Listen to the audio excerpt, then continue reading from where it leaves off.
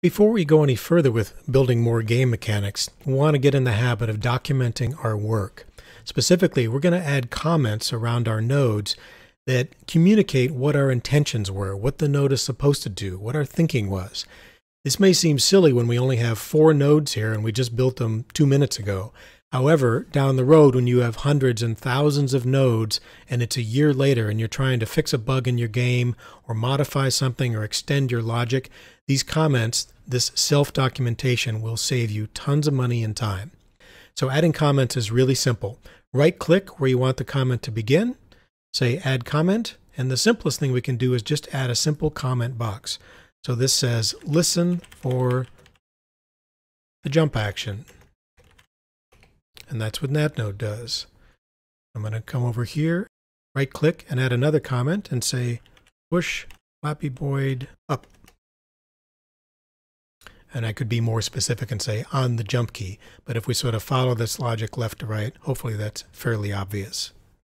So now that we have our jump mechanic created, I want to do one last thing with this, which is put a box around this whole mechanic because it's kind of all of a piece.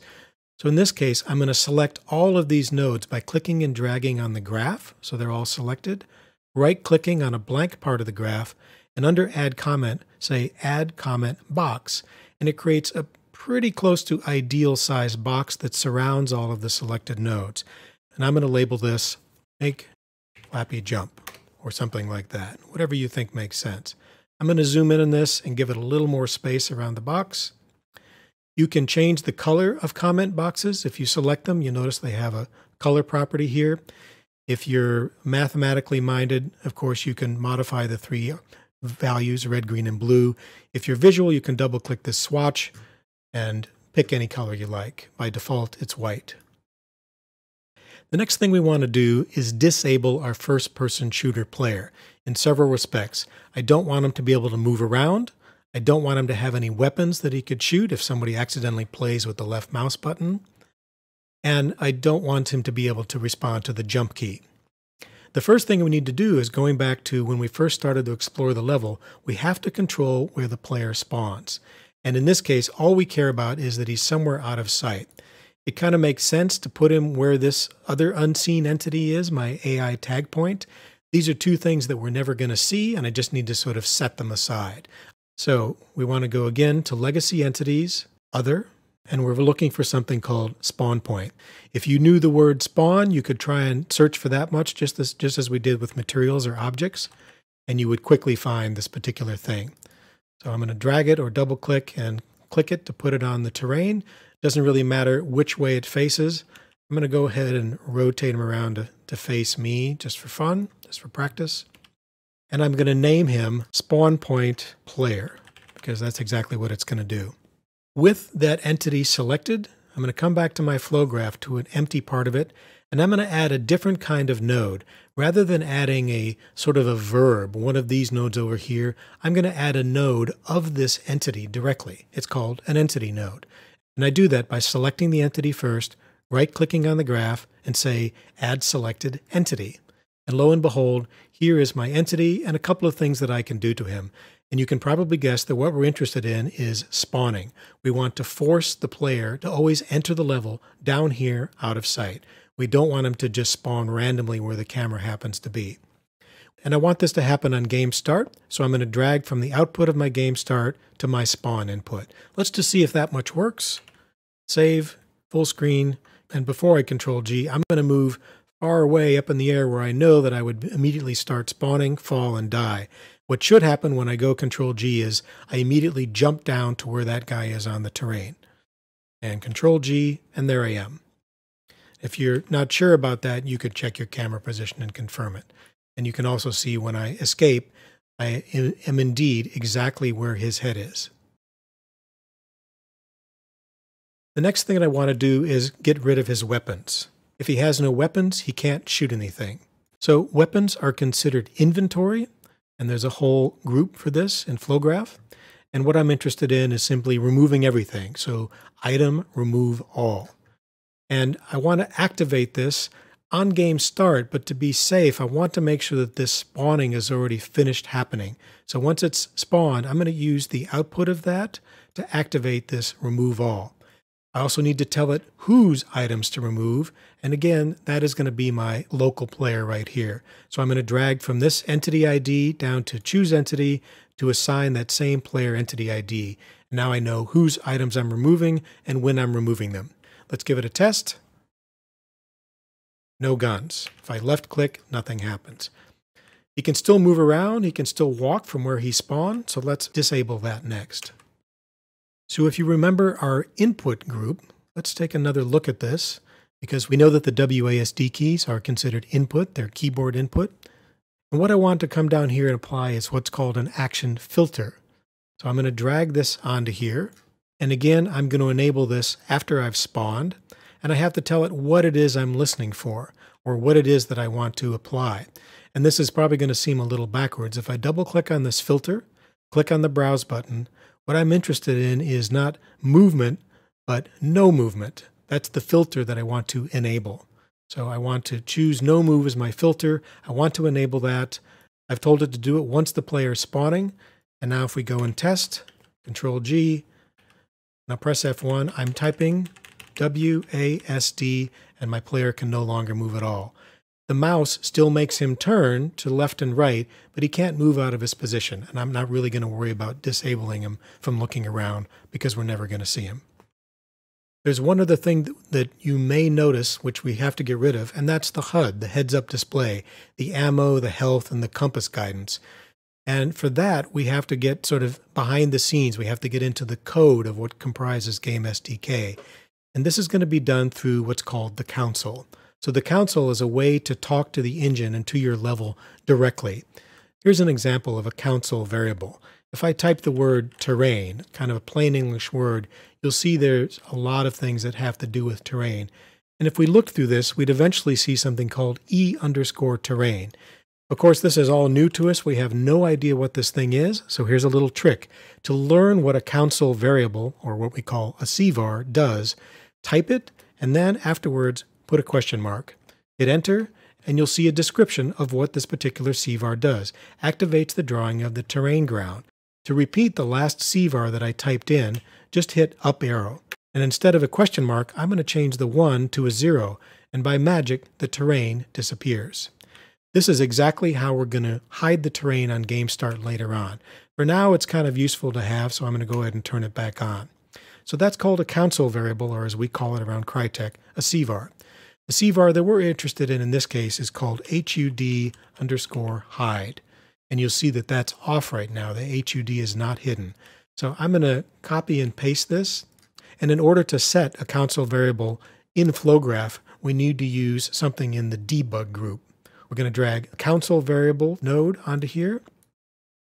And the CVAR that I'm interested in is HUD hide. You'll notice there's no browse button, so that does imply that you will have to learn some of these CVARs. There are some tricks to help you do that later on, including, of course, the documentation. So we'll talk more about that. So I know I want to set this, and the value I want to set it to is true. I do want to hide the HUD. And when do I want to do this? Well, again, on game start, or specifically after my player has spawned, because the HUD comes from the player. So on spawn, go ahead and set this. And again, I'm going to add comments to this. I'm going to add another one here. Stop the first person shooter player from moving. Last but not least here, disarm the first person shooter player. So those are some useful comments. Let's give this a try. F11, Control G, and now I see no weapons, no hands. I still have this guy here, but he has absolutely nothing. He can't move around, and my HUD has disappeared. And now that I've disabled this guy and gotten him out of my way, I'm finally ready to start really building my game in earnest. The next thing I want to do is create a camera. The default camera that we've been using is not a game camera. It just allows us to see in the editor. So there's an easy trick to creating a camera. I'm going to put one right here that looks at our player just to demonstrate one more thing about Game SDK.